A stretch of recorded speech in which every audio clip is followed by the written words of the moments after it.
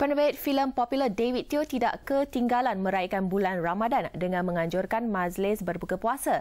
Kita ikuti laporan Dahlia Syazwan yang menghadiri acara tersebut. Hai, baiklah kita masih lagi berada dalam bulan Ramadan tetapi tak lama lagi kita akan menyambut Hari Raya Aidilfitri. Gala TV sempat lagi untuk memenuhi satu undangan berbuka puasa iaitu dengan MIG.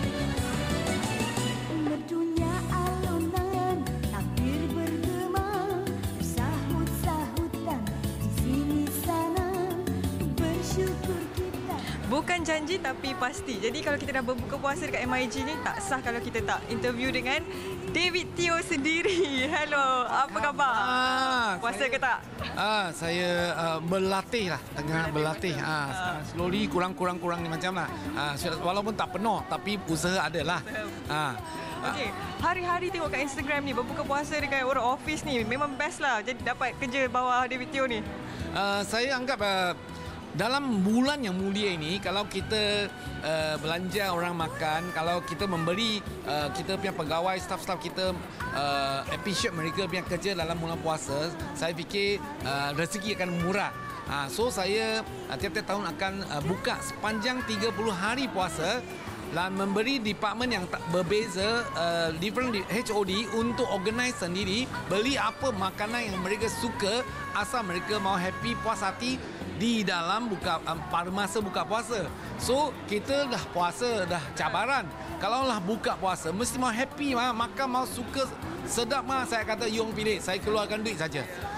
Dengan itu saya juga mengaturkan beberapa tempat uh, anak yatim, ibu tunggal dan apa uh, orang tua-tua uh, yang yang yang uh, uh, kekurangan uh, upaya. So saya anggap uh, inilah uh, lutit tahunan yang saya setiap kali bulan puasa saya mesti buat uh, ha ini. Saya anggap uh, setiap kali saya uh, lebih lebih uh, bersungguh-sungguh buat setiap tahun rezeki saya lagi murah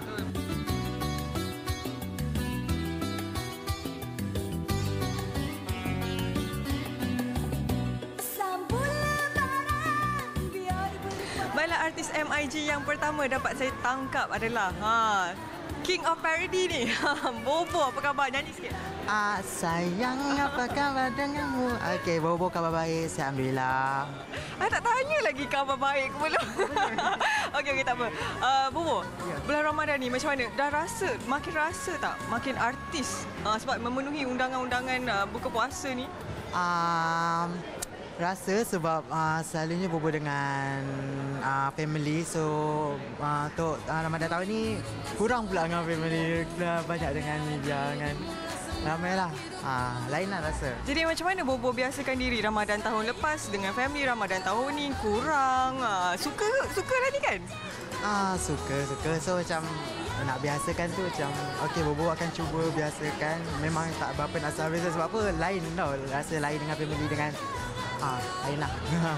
so kalau puasa lain, raya macam mana? Lagi lain, betul tak? Ah, ah, yelah raya lagi lain. Tapi ah, raya pertama berhubung dengan family. Yang penting lah. Ah. Okey, kita nak tanya sikit pasal perkembangan kerjaya uh, Bobo.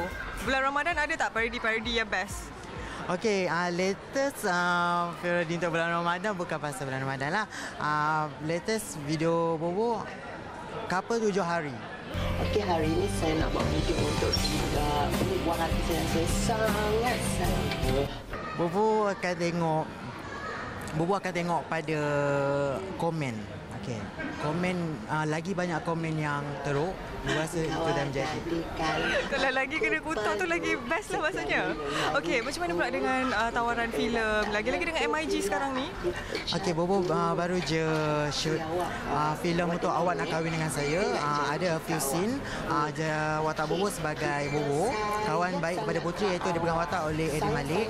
And uh, telemovie Bongkar Baulu Angkasa Raya. Uh, watak Bobo alien sebenar jemaah sotong. Okey, lagi satu. Jemaah sotong. Okey, nak tanya Bobo lah. Bobo dah boleh nampak Bobo ke, akan lama ke dalam industri ni? Um, Bobo tak pasti sebab Bobo baru lagi daripada industri ni. Okey, Bobo akan cuba bertahan sebaik mungkin. Kalau tak boleh, uh, bukan rezeki Bobo lah. Bobo tapi Bobo akan cuba juga bertahan. Okeylah. Uh, Okey, sekarang ni saya bersama dengan Zalif Sidik, salah seorang artis MIG juga. Ah, macam dah macam red carpet dah sekarang ni kan. Dondon tak kan? Ah, so dondon. Okey, Zalif nak dekat raya ni kan. Persiapan macam mana? Persiapan saya sederhana saja. Saya tak adalah uh, mana yang tahun lepas yang saya tak pakai lagi. Uh, baju raya saya akan pakai tahun ni lah. Uh, adalah saya tahun ni saya buat pertama kali saya tak tempah baju Melayu. Saya beli di Jalan Toko Abdul Rahman. Semalam baru saya shopping kat sana. Wow. Hmm. Kenapa tak tempah tahun ni? Sebab tak sempat. Uh, sebab saya ada 2 3 program uh, raya uh, untuk syuting. Lepas tu saya ada drama sambung-sambung. Uh, so busy. tak sempat busy. Uh,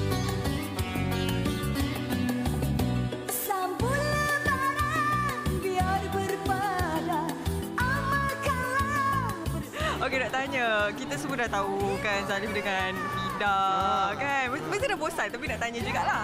Macam mana ni? Kejap kejap baik, kejap tak baik, kejap putus, kejap on. Still lah sedangkan lain lidah lagi tergigit apakah pula di bulan Ramadan ah nampak? Tak adalah. Uh, saya uh, alam saya masih baik dengan dia. Kan? Uh, masih baik dengan dia. Uh, masih berkawan dengan dia. Uh, tapi is a betul-betul relationship kita tak ada ikat mana-mana lah. Uh, tak ada tak ada. Pasang kasih tu tak ada lagi lah. Tapi saya baik dengan dia dan saya pun ada berlakon dengan dia. Uh, buat pertama kalinya dalam Teri Raya di Astro Prima nanti uh, Tajuk dia Besan-Besan Ku Gangster ha, Pomok sekali Kepada semua umat Islam di seluruh Malaysia Saya mengucapkan Selamat Hari Raya Aidilfitri Mak Azai dan Matin Dan jangan main mecun Berhati-hati di jalan raya Jangan main macun. Ya.